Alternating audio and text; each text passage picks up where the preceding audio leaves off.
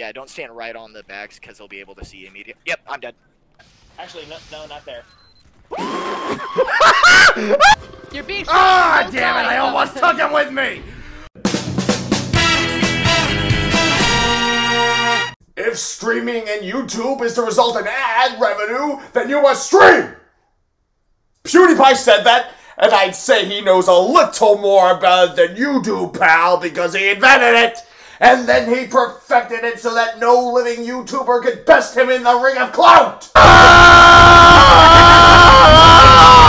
to your left, go to your left. Oh, no. Go to your left. You keep saying the door to my left, you idiot! Call it! Let's go to the D. Oh, you killed me! Then he used his ad revenue to buy two of every plushie on Earth. Then he herded them into his room, and there he shipped the crap out of every single one.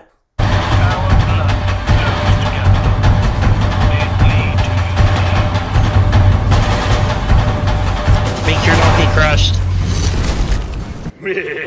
and from that day forward, anytime a bunch of horses are together in one place, it's called a con!